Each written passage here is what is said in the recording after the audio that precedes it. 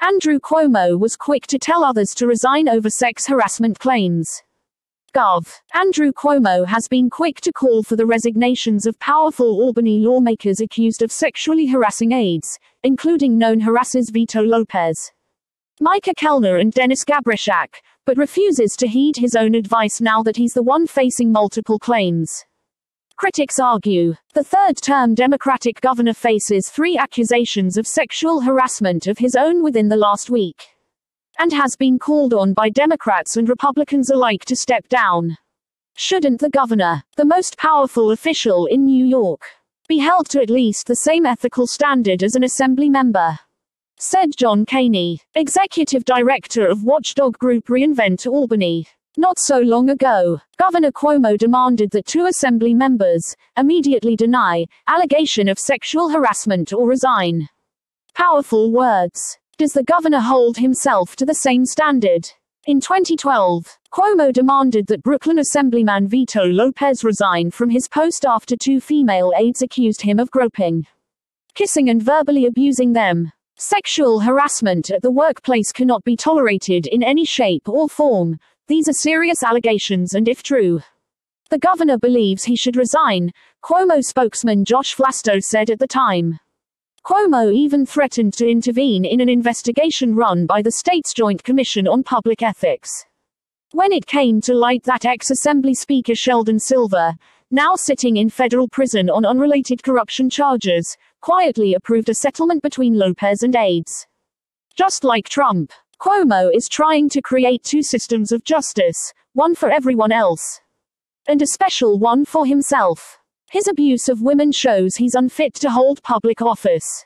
He must resign or be removed, said Rita Pasarell, a co-founder of the Sexual Harassment Working Group and former staffer to Lopez. The group was formed by ex-legislative staffers in Albany who filed their own claims of sexual harassment against their bosses.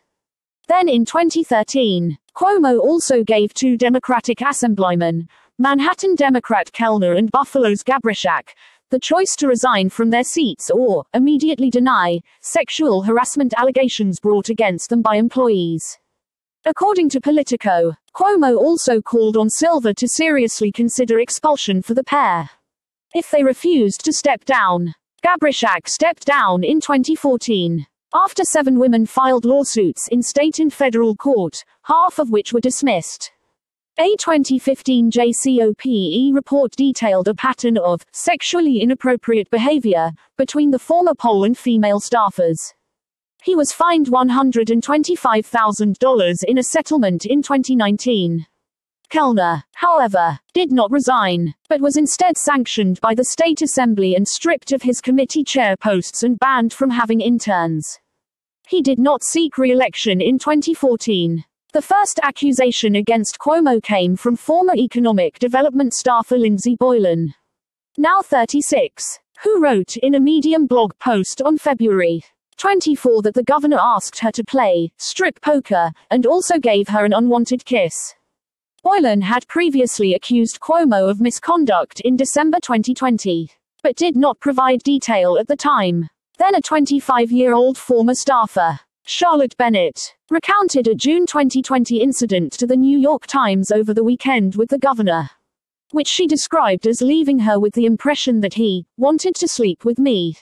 A third accuser, Anna Ruch, detailed a 2019 wedding to the Times where she met the governor and he made unwanted advances toward her, including grabbing her face and asking to kiss her. Cuomo, meanwhile, issued a statement brushing off the allegations, saying he was sorry for making anyone uncomfortable and argued he is often playful and makes jokes at work. He also previously denied allegations of physically touching aides. But those accusations are now subject to an independent probe by State Attorney General Letitia James, who is expected to appoint and deputize a special prosecutor to investigate the claims. A chorus of fellow Democrats such as Long Island Democratic Rep. Kathleen Rice, Sense. Alessandra Biaggi, D. Bronx. Jessica Ramos, D. Queens. Gustavo Rivera, D. Bronx, and John Liu, D. Queens, have also called for Cuomo's immediate resignation.